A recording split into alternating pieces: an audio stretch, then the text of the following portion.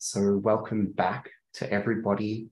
Uh, welcome back to the Resources Conservation and Recycling webinar program. It's great to have everybody here again.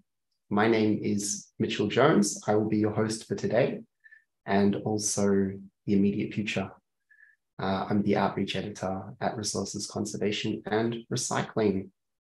The program that you are here for today is an English language webinar program that is run every second Thursday at 10 o'clock Pacific Standard Time. The scope is broad. We, we cover the entire scope of the journal.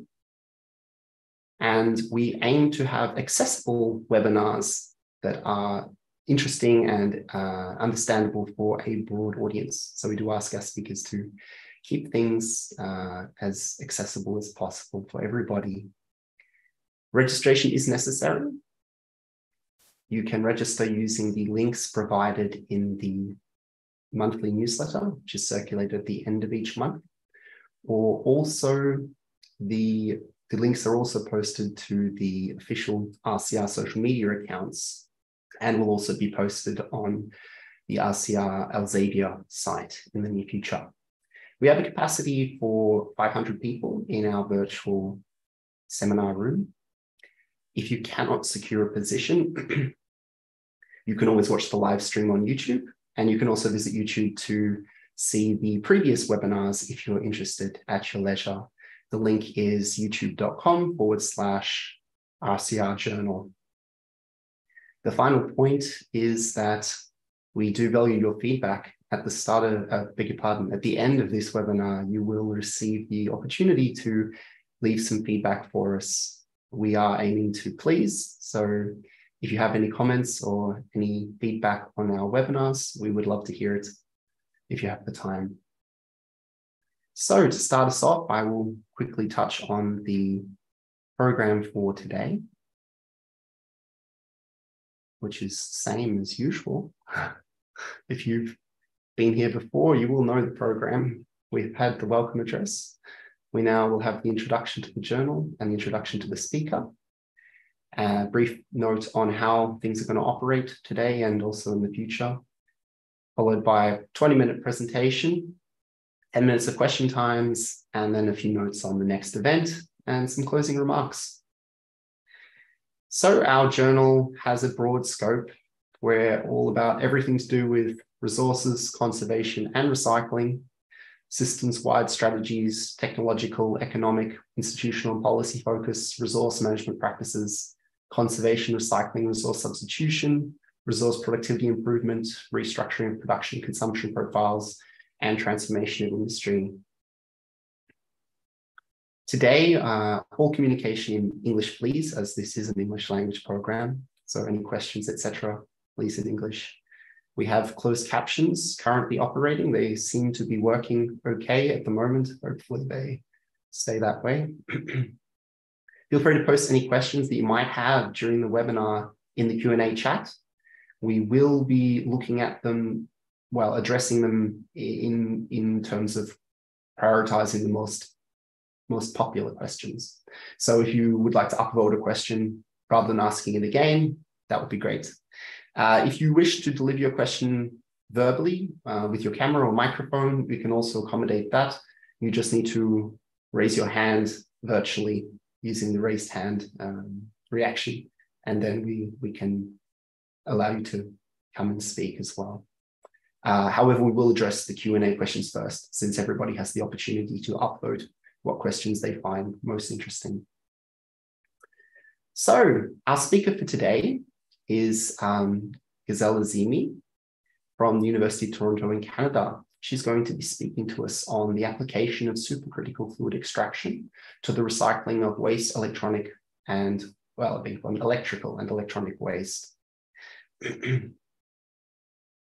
sorry. There's a little uh, thing blocking some of the screen for me, so I may have missed a word there.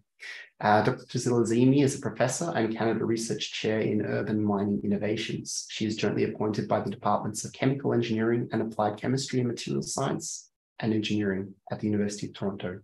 She received her PhD in 2010 from the Department of Chemical Engineering and Applied Chemistry at the University of Toronto. Before returning to the University of Toronto as a faculty member in 2014, she completed two postdoctoral appointments at MIT in the departments of Material Science and Engineering and Mechanical Engineering. She has been recognized with several Young Researcher Awards for excellence in research, teaching, and leadership, namely Canada Research Chair Tier 2, Emerging Leaders of Chemical Engineering, Canadian Society for Chemical Engineering, the 2020 CSCHE Innovation Award, the 2020 TMS Young Leaders Award, Minerals, Metals, and Materials Society, TMS. And this part I am not able to read because my closed captions are over it, but a, wide range of distinctions. So um, it's my absolute pleasure, and thank you so much for being here today to welcome uh, Gisele to the floor. I'll, uh, I'll pass you over to her now. Thank you, Gisele. Thank you very much, Michelle, for the kind introduction and good day, everyone. I hope you are doing well. It's my great pleasure to be here today and present our results um, on extraction of critical materials using supercritical fluid extraction.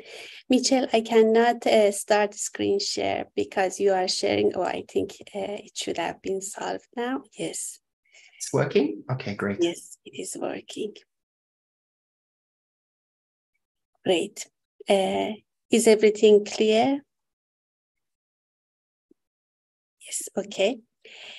Um, so today I'm going uh, to talk about application of supercritical fluid extraction for recycling of waste electrical and electronic equipment. My research at the Laboratory for Strategic Materials is at the intersection of process engineering, electrochemistry, and materials design. We look at extractive metallurgy of critical metals such as rare earth elements using pyro and hydrometallurgy. We also use supercritical fluid extraction for metal recovery. In terms of electrochemistry, we look at electrorefining for direct decarburization of molten iron and development of aluminum batteries. And in materials design, we look at high temperature ceramics for uh, specialty applications and extract and impregnated surfaces for solid liquid separation. One of the thrust of my research uh, program is technospheric and urban mining of strategic materials. As for the feed, we look at industrial waste such as red mud from aluminum industry, phosphogypsum from fertilizer industry, and slag from steel making. We also look at end-of-life products such as nickel metal hydride and lithium-ion batteries, neodymium iron boron magnets, and fluorescent lamps. For extraction processes, we look at supercritical fluid extraction, hydrometallurgy, and hybrid hydropyrometallurgy. And we extract rare earth elements, gold, platinum group metals, niobium, titanium, cobalt, and nickel. Today, I'm going to talk about uh, recovery of lithium and cobalt from lithium-ion batteries using supercritical fluid extraction. Conventional recycling techniques are based on pyrometallurgy or hydrometallurgy.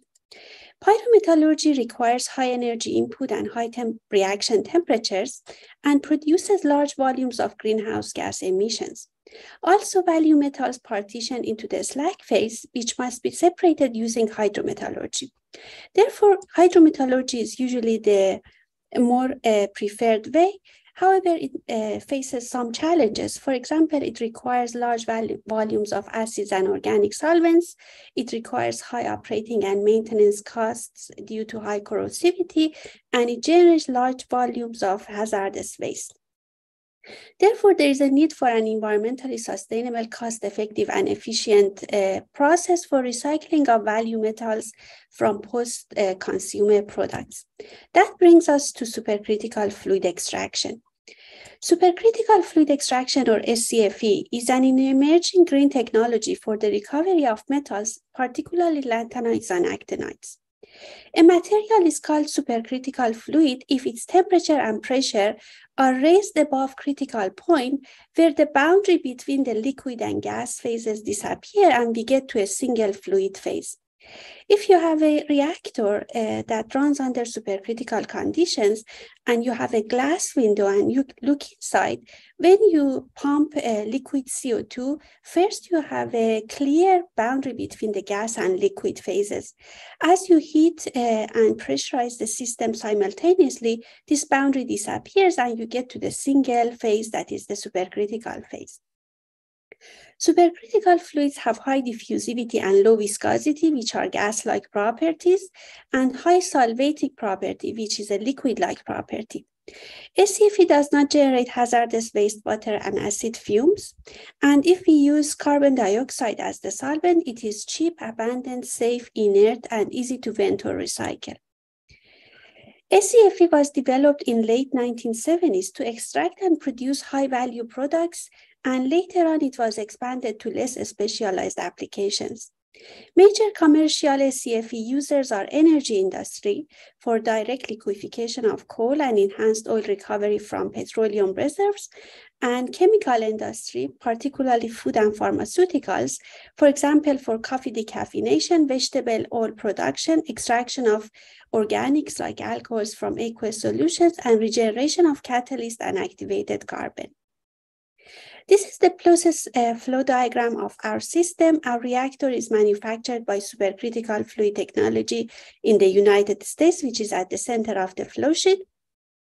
We have a liquid CO2 pump, pump which pumps uh, liquid CO2 to the system.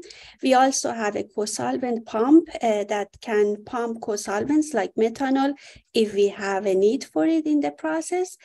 Then uh, this is a jacketed reactor. The temperature and pressure are raised.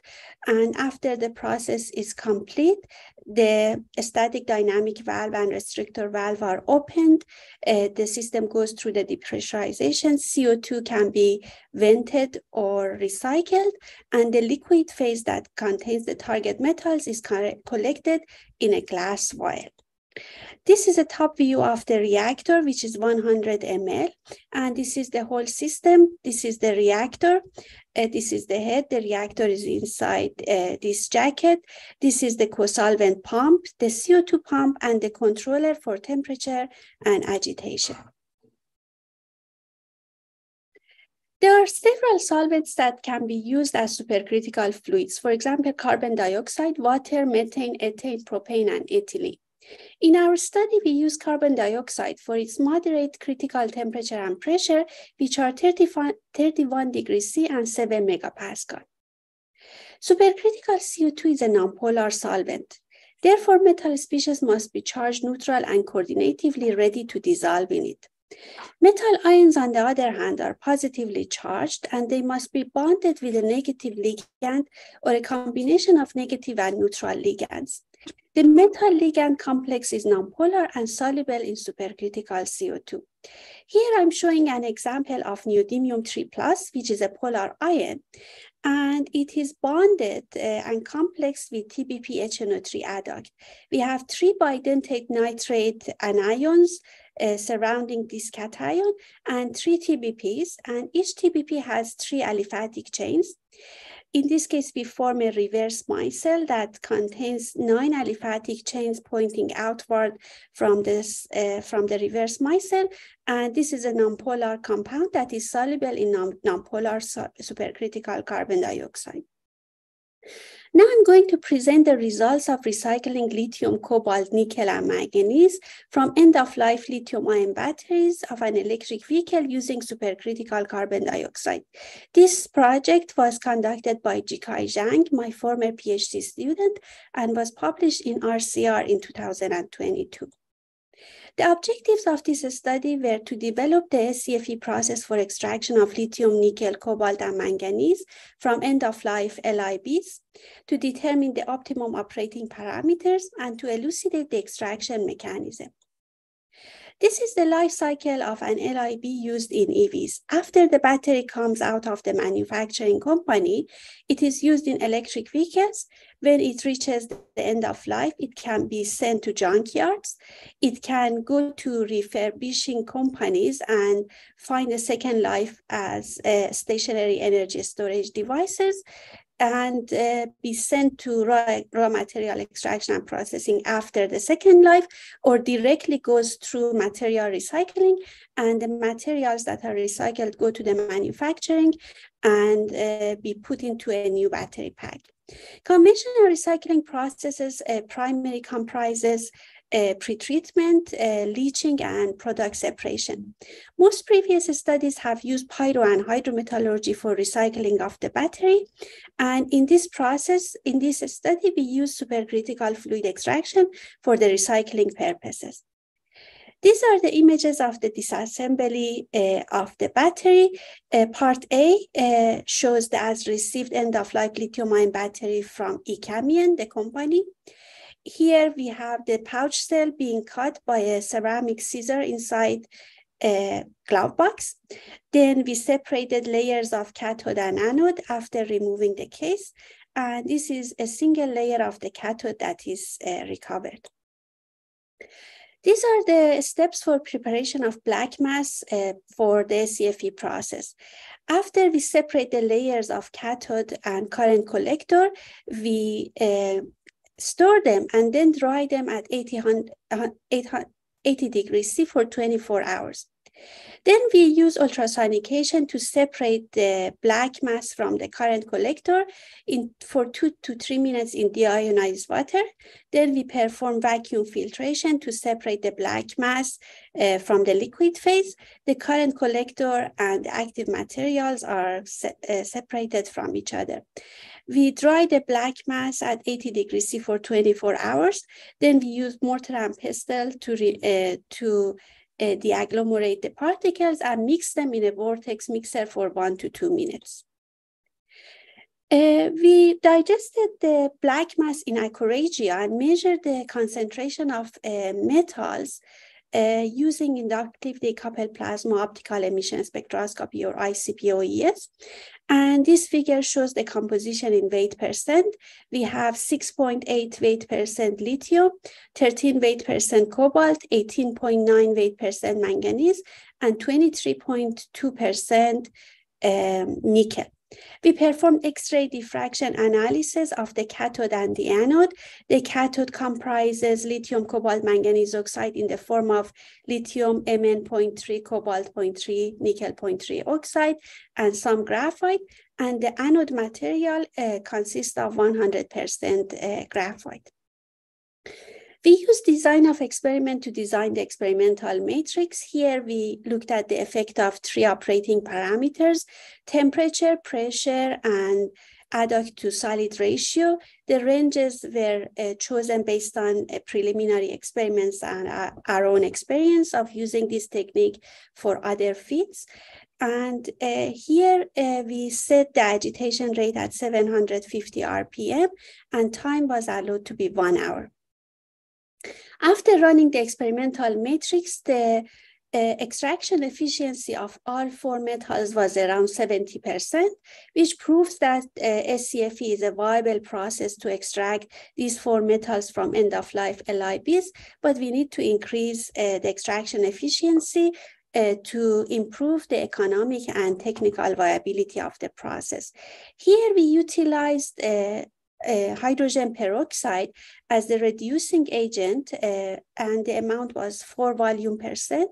And we performed the experimental matrix again, and we observed that the extraction efficiency increased by 15 to 20%, and we achieved an extraction efficiency of around 90% for all four metals. We perform empirical modeling uh, to investigate the effect of operating parameters on the extraction efficiency of target metals.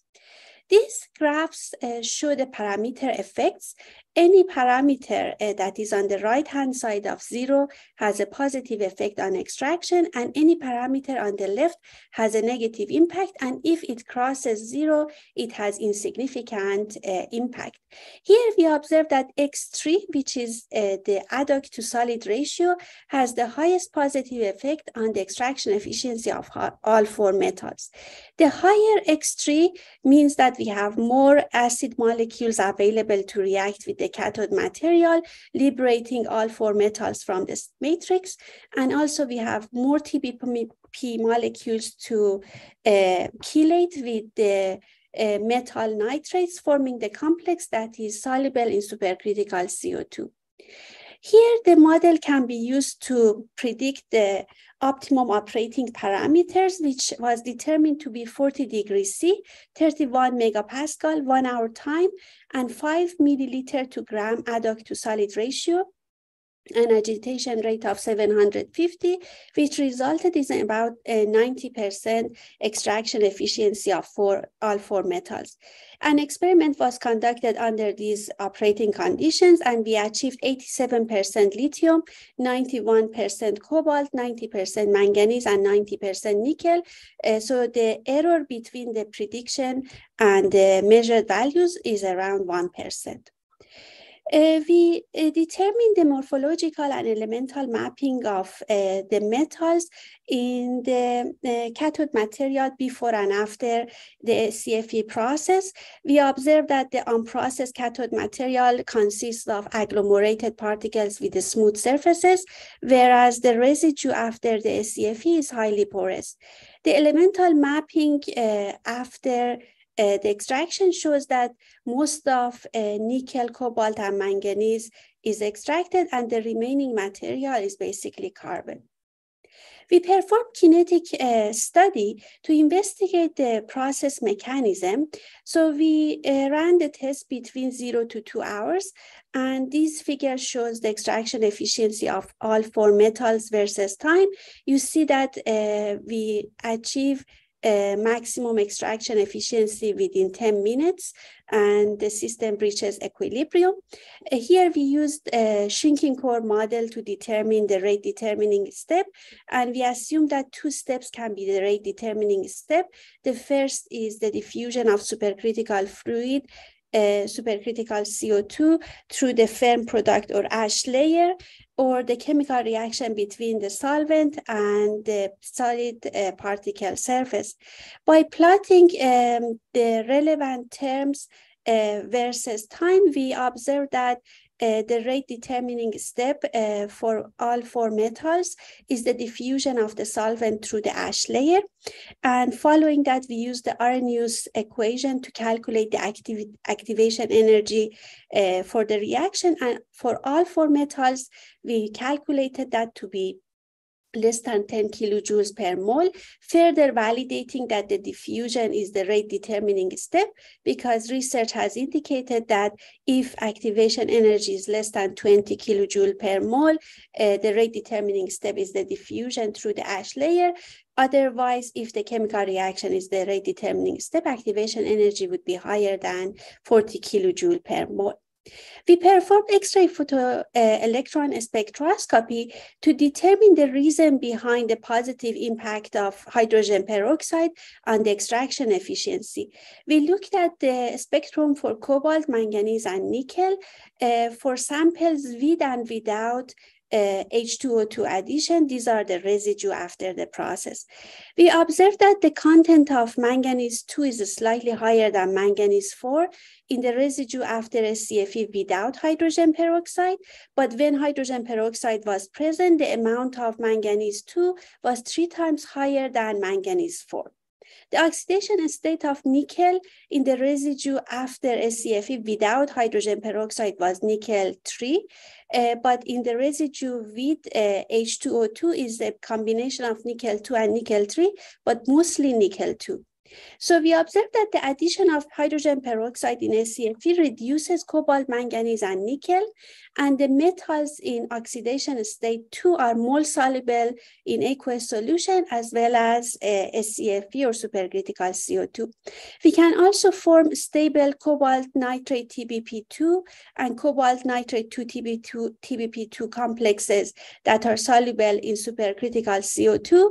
Here, the metal cations are centered in the complex with two bidentate nitrate ions and two coordinate bonds with uh, phosphoryl oxygen atoms in the TBP molecule. To elucidate the uh, to elucidate the mechanism behind the process, uh, we performed uh, some uh, investigation, and here we looked at six uh, samples uh, the sample was the black mass that we used for our experiments. In test one, we only used uh, nitric acid. In test two, we only used TBP. In test three, we used TBP HNO3 adduct. Test four, only supercritical CO2. Test five, we had the adduct and supercritical CO2. And test six, we had nitric acid and supercritical CO2. When we used only nitric acid 70%, we observed about 40% extraction of all four metals. When we used only TBP, no extraction was observed. With TBP HNO3 adduct, around 50% extraction was achieved. With supercritical CO2 alone, no extraction was achieved the system with supercritical CO2 and the adduct, we obtained 40, uh, 70 to 77% extraction. And with nitric acid and supercritical CO2, uh, we achieved 45 uh, to 50% extraction, but it was an aqueous phase and nothing dissolved in supercritical CO2. So with this, uh, we concluded that uh, the process mechanism is a three-step process. The first step is the dissolution of metal oxide into metal ions using nitric acid and reduction of metal ions using hydrogen peroxide. The second step is the complexation of metal ion with TBP ligand and the last step is extraction and dissolution of metal adduct complexes in supercritical CO2. Without nitric acid, no extraction was observed uh, in trial one to four because the dissociation of nitric acid facilitates the dissolution of metal oxide ions, uh, metal oxide to metal ions, as are shown in these two reactions. As shown in trial six, which was the last trial where we only had nitric acid and supercritical CO2, uh, no product was collected without TBP since aqueous phase cannot dissolve in the nonpolar supercritical CO2. In summary, uh, the SCFE method was able to improve the extraction efficiency of lithium, nickel, manganese, and cobalt compared with conventional leaching processes. Consumption of chemicals was significantly lowered. Acid to sample ratio required to achieve 90% extraction efficiency was reduced from 100 milliliter per gram to 5 milliliter per gram. And the amount of H2O2 was reduced from 8 to 10 volumetric percent to 4 volumetric percent. Also, the time required was 5 to 6 times shorter. Using supercritical CO2 can significantly improve the mass transfer process due to disappearance of the phase boundaries. The reducing agent, uh, which is H2O2, can significantly improve the extraction process by reducing cobalt, manganese, and nickel. And the XPS provided evidence that all three metals can be reduced to oxidation two, which makes them more soluble in aqueous solutions and forms uh, supercritical CO2 soluble complexes. This process uh, this uh, work proposes a three-step mechanism for the CFE process. The first step is the dissolution of metal oxide into metal ions using nitric acid and reduction of metal ions using H2O2. The second step is the complexation of metal ions with TBP ligand. And the last step is extraction and dissolution of metal, metal adduct complexes in supercritical CO2. So this study ushers in an alternative recycling process for metal recovery from cathode material of, of end-of-life uh, lithium-ion batteries. And the findings offer valuable insight into the reaction mechanism, which lays the foundation for further development of SCFE processes. These are the highly qualified personnel who were involved in this project.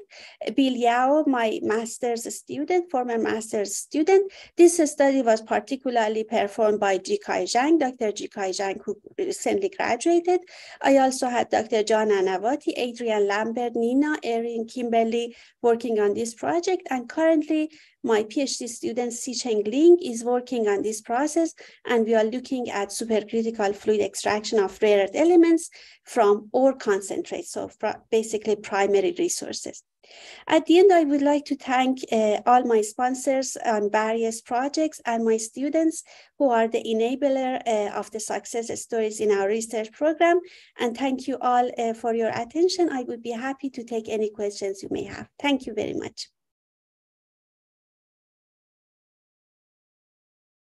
Thank you so much, Gisele, for that presentation. Very, very interesting. And I have to say, you absolutely nailed the accessibility aspect. I'm sure a lot of the viewers really appreciated the work that you put in at the start of the presentation in making sure that everything was really clear in terms of the background information.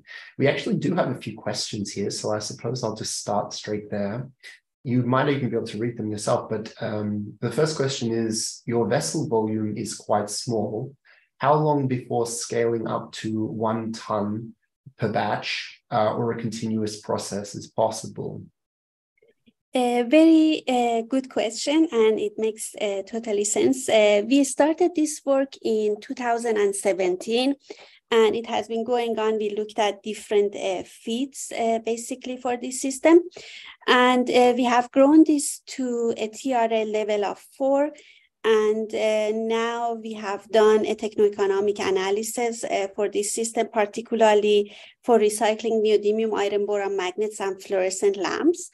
And um, after the publication of this work in RCR, uh, a few companies contacted me, including Mitsubishi, a recycler in Norway, and another company in Chile, and they are all interested in funding the research to go towards the pilot plant. And uh, we are considering uh, those activities. So i envision uh, one to two years um, during the piloting and uh, scaling up the process and then get uh, to the larger scale after that. Very nice. From the same uh, same attendee, we have the question: uh, Is there a life cycle assessment for the environmental impacts of the process? Uh, no, we have not done uh, any LCA analysis, but uh, we have one study on TEA analysis, a detailed techno-economic analysis to show uh, the viability of the process. And um, I was hoping that uh, I have that published at RCR as well because I uh, feel there is a very close relevance there.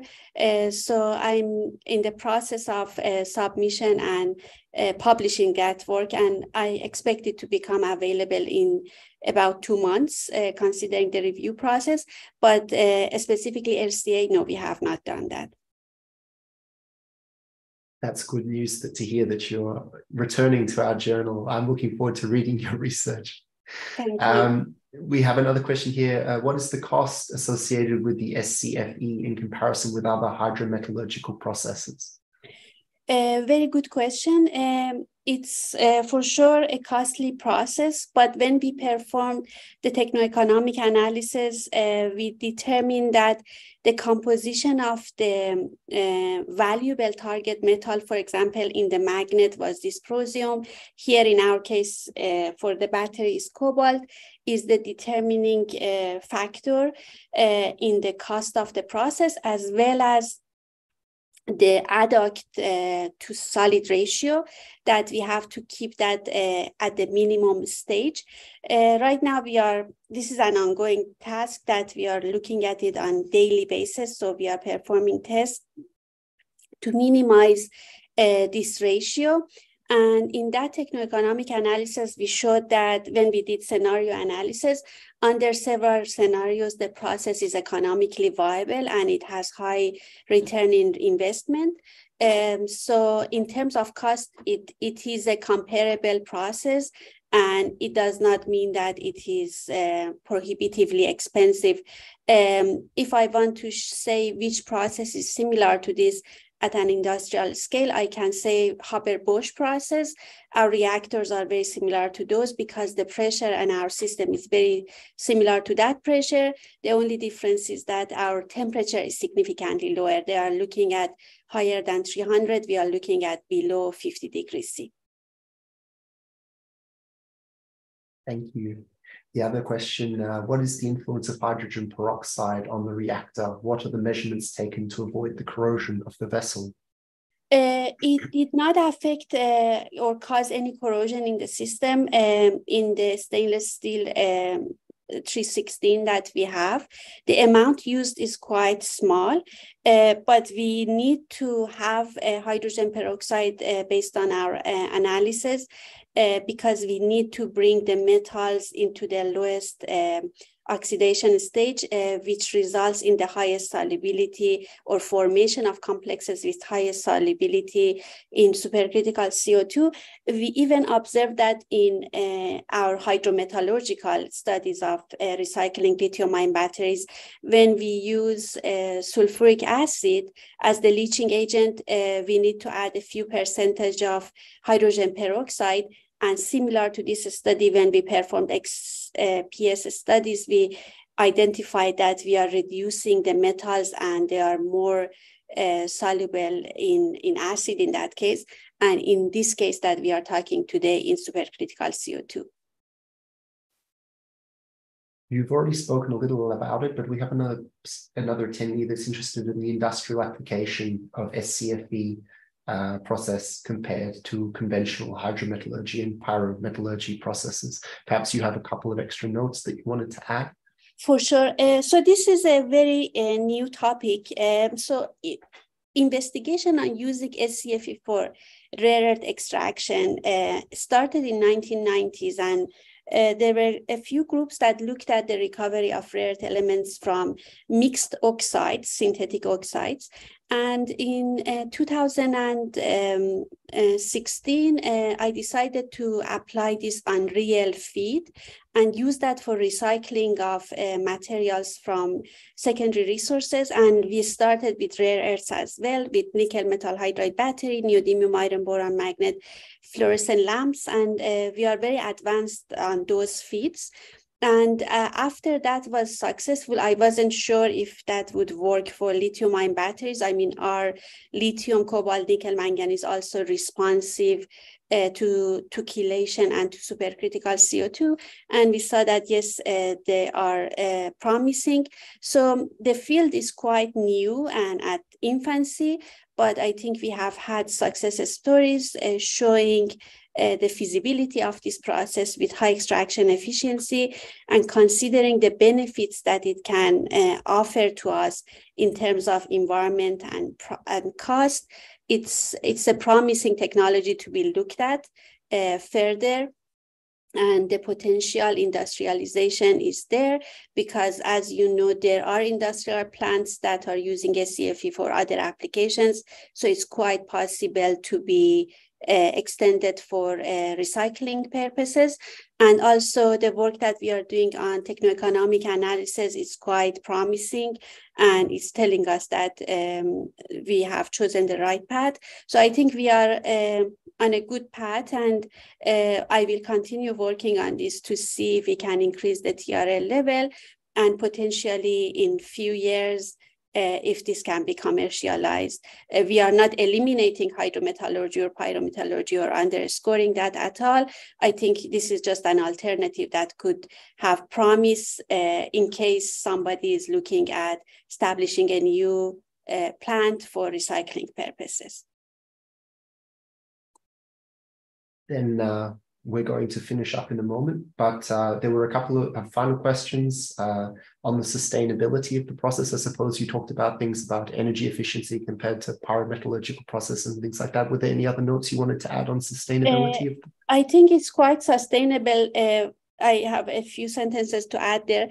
Uh, the good thing is this process does not generate CO2. We can get CO2 from air and use that as a solvent. So somehow it's carbon negative. We can capture CO2 and use it as a as a, a resource for us. And uh, CO2 is completely recyclable in this process. And the adduct is also recyclable and recoverable. So in terms of waste generation, it's quite minimal and uh, it has CO2 uh, capture capacity. So it seems uh, to be a sustainable process. And the final question, uh, can we use SCFE for NdFeB magnets? Yes, uh, we used that uh, for magnets in 2018 uh, and I have a few papers published on that as well. Uh, if you look at my website, uh, azimilab.com, uh, on the publication page, you can find those papers and you can uh, look at them. But it's, yeah, neodymium boron magnet is a very good fit for that. Wonderful. And the remaining comments are just praise for your talk. Thank you so much, Gisele.